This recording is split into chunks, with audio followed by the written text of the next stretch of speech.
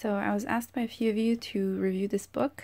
Um, this is Margaret Lee's uh, latest book, uh, The Art of Bead Embroidery, Japanese Style. Japanese style meaning that um, it's beading, but the type of embroidery that's done in this book are um, using Jap- traditional Japanese embroidery um, techniques, very similar to um, the ones that they teach at the Kurenaikai and um, in the JEC Center in Atlanta.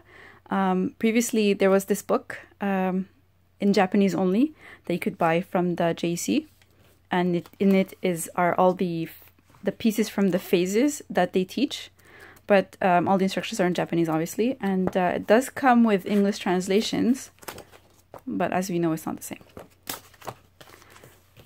Um, there are other types of beading in Japan I mean, this is another uh, bead embroidery book that I have by um, a Japanese author named Yukiki Ogura, but it's not the same style that's taught in this book.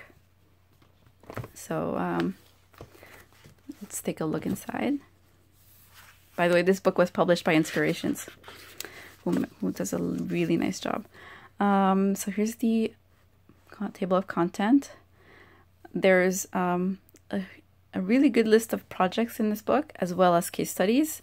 And there's the typical, uh, you know, materials list and uh, common practices and design concepts and stuff like that.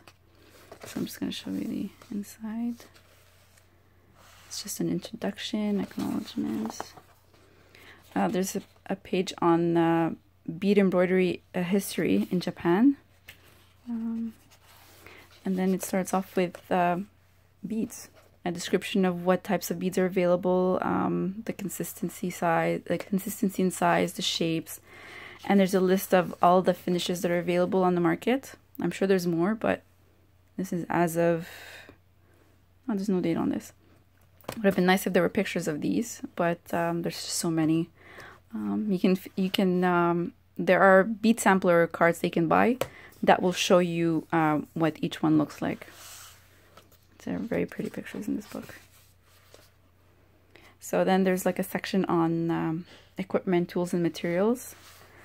And I really like this. There's a um, a section on how to properly frame um, your fabric using traditional Japanese frames. Um, the JEC book also describes this, but it's all in Japanese, and the instructions are not translated for that section. Um, so just a comparison. It's very similar. Yeah.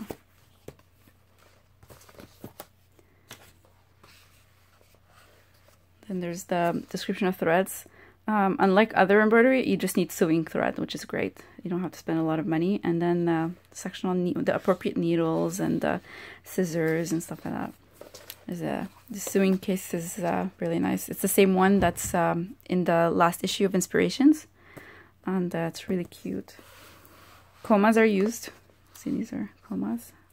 Um, there's an all more more equipments that you can use as well. Here's Margaret Lee.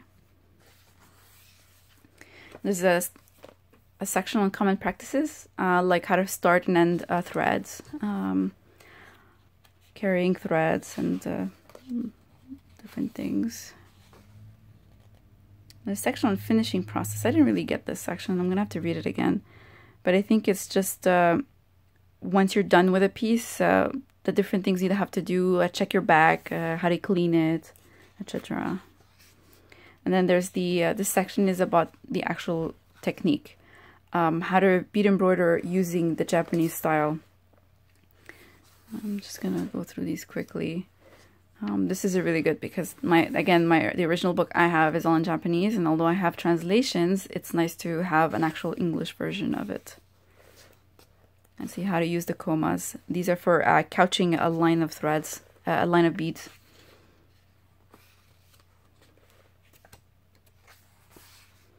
And satin stitch with uh, with beads. This is really cool. And there's uh, a way to do it with padding as well. See this padding filling stitches. And then there's the projects. So I think the first uh, three projects in this book are there for you to dip your toe in, I guess. Um, so you to to get used to the technique. and then as you get progressive uh, get through all the different projects it, they get more complex and there's less descriptions because it's assumed that um, you've under you've learned the technique it's very similar to the way they teach at the JEC at the JEC you go through five phases um, I don't know how I can't remember how many phase how many projects are in this book but uh, each project is supposed to teach you something new um, and before you even start there's like a it's like a what to do when you run into an issue. There's like a troubleshooting FAQ at the beginning, which is nice. A lot of these you you learn as you go along, but it's nice to have them answered at the beginning before you start. Pretty. This is uh, Japanese embroidery with some beading. This is the first project. You can actually get this kit um, from Inspirations. They've already released it in preparation for the book. It's very similar to the phase one that I'm using, I'm doing right now that I started in April. Um, this is a mirror case. I really like this. You can get these mirrors online. Um, they're they're usually empty on the top, so you can insert your own piece. And um, for every project, there's the see here. There's a section on learning points. This is what you're learning in the in this project um, your list of materials as well and the supplies that you need. Um, this book gives you the the beads in they only use Toho in this book, right? But there's like other options like Miyuki, and um, I don't know what the other brands are. I only know Toho and Miyuki. I've used both. Uh, Miyuki is easier to find um, in in stores here and in North and like in shops in general. Tohos are harder, especially um, the tri-cut that they, they like to use um, in this type of embroidery. The only tri-cut I've ever found is Czech, and it's not even the same size. Um, usually Czechs Czech tri-cut are 12, um, a size 12, but in these in this book it uses size 11 and size 15. So I'm gonna have to um, look a lot on the internet to find the materials I need. This is really pretty. It's the same um, it's the same design over and over, uh, but it's it's beautiful how it comes out.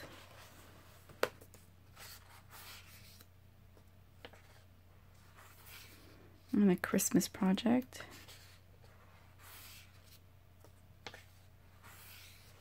This is really cute. The, the, the flowers really pop out and the leaves too.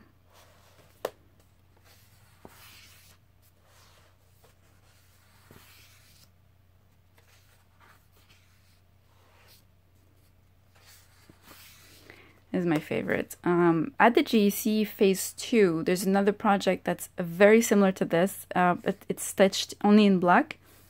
So the point of this is to stitch using one color of bead, but in different types of beads. So you'll have uh, some seed beads, some tri-cuts, some bugles, some hexagons, and the pattern comes out uh, like it pops because of the how the light reflects off each type of bead. So these are seeds, I guess. These are seeds and um, I think these look like bugle and then the hexagons are here. So yeah, like I said, the JEC Phase 2 is very similar to this, but it's black. Mm, I like the purple.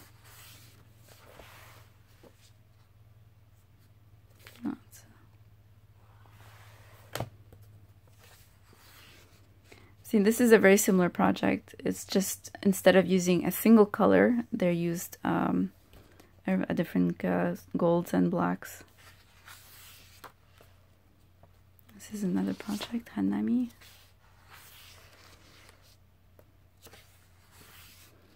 She also has um, a wedding pillow for like uh, to, for the rings. Um, this is uh, there's some embroidery in it, but it's mainly beadwork. See, this is padded flowers.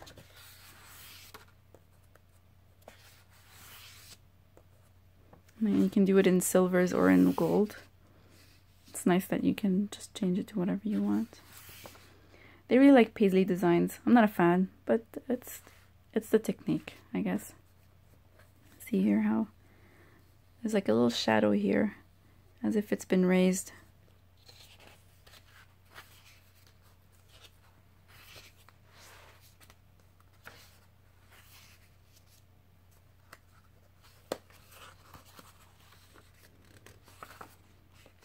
And this is uh, what I'm really happy about. It's best section ever, the case study section. She'll walk you through um, the purchase of the fabric and then how she um, designed her, her bead embroidery. In Japanese style bead embroidery, a lot of times they'll buy printed fabric that is perfect for beading and then they'll just design they'll find the right beads and um, they'll figure out what where to have uh, a raised stitch effect for example or um, a couched line and um, this this section just two there's two case studies this section will walk you through the process and she'll even include a template for you to use in the future if you wanted to design your own pieces but um, I think this section is gold out of all out of the entire book because she really walks you through everything uh, from the color choice to the technique to use. Um, and this is, I love this one. It's called Arabian Nights. The fabric is to die for once it's beaded. Here it's beaded section.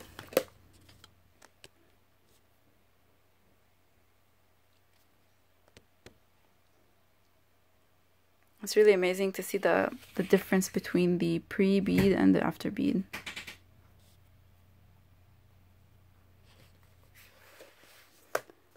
And again, she'll go, sorry, fix the camera.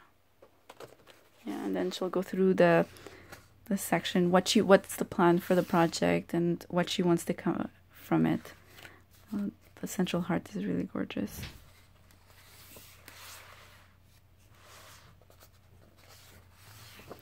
The last section is about general construction. Something I've noticed um, is that they use glue in their finishing process. I'm not crazy about using glue. Um, I had to use it for Hannah. Well, I had to. I did it for Hannah, and if I had to do it again, I probably would not use glue.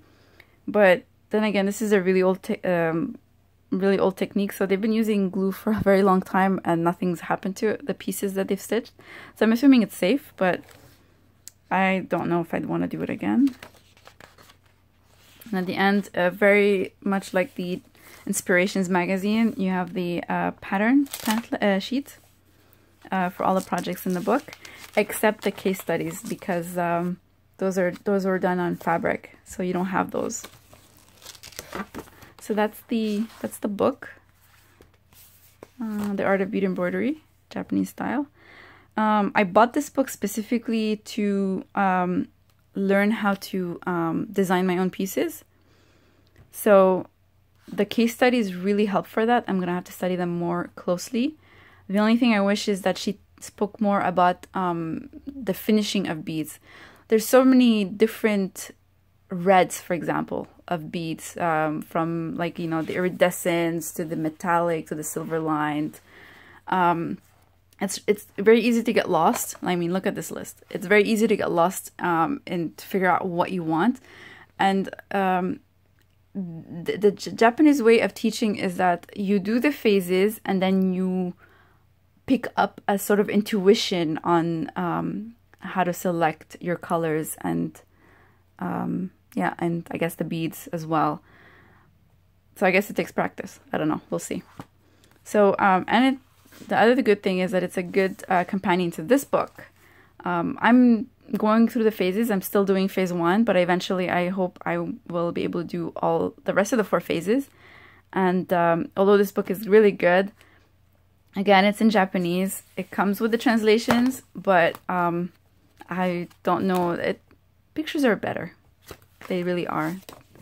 And um, and not to mention the fact that um, the projects are not even translated, by the way, in this, because you're supposed to go to the JEC for that anyhow. So um, in order to help me with color I decided to also get this book which I am still reading. I'm at page 51 it's a really good book so far. And um, yep. Let me know what you guys think of the video. It's the first time I do one. I might have been a little scatterbrained but uh, I'll try better at the future. So that's it for me and uh, bye